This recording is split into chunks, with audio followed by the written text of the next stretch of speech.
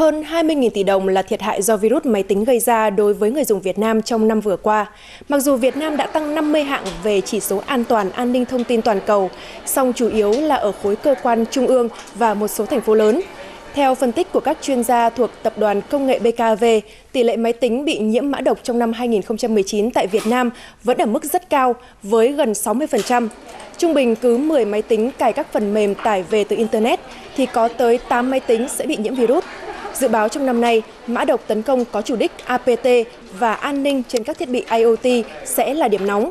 Tin tức giả mạo sẽ tiếp tục là vấn đề nhức nhối.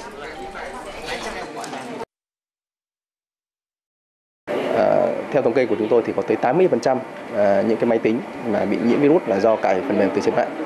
À, tức là cứ 10 máy tính à, cài phần mềm à, tải từ trên mạng về thì có 8 máy tính là bị nhiễm virus. À, đây là một cái tỷ lệ rất là cao À, cho thấy là cái mạng internet, không gian mạng internet tại Việt Nam à, có tiềm ẩn rất là nhiều các cái nguy cơ và người sử dụng cần phải à, hết sức là cảnh giác khi mà mình tải các phần mềm từ trên mạng về.